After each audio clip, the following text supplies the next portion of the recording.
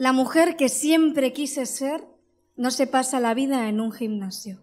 Se pasa el día en su mundo imaginario, inventando paranoias que harían creer a los escépticos en una utopía plausible.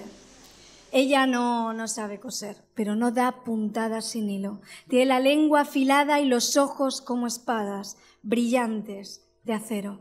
No se preocupa mucho por su pelo porque lo lleva siempre suelto al ritmo de las olas o del viento, lo que toque, lo que le toque el alma por lo menos. Sé que hunde los pies en la calma a pesar de la guerra en el pecho. Papel gana piedra, pero piedra es mirlo muerto. Eso siempre lo ha sabido. Hacerse la tonta nunca es serlo. No lo olvides. Pero tienes tanta garra que atraviesas las pantallas, las paredes, las murallas, y es que tienes tanta chispa que te basta una mirada para prender la llama y que arda, que todo arda, porque cada vez que callas guardo duelo, porque la vida se hace amarga.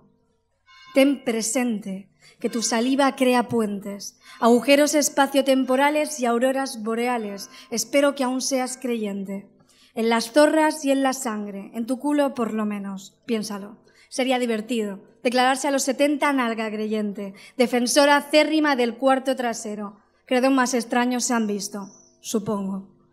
Y yo no sé cómo se declara, si soltera o casada, ni su estilo ni su cara, eso no es lo importante.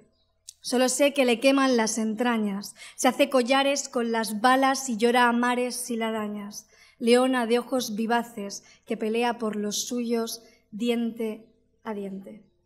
Espero que no temas a la muerte y te encuentres donde pares, que no te encadenes a la suerte y disfrutes de todos los manjares, que dinamites las esencias y delimites lo innombrable.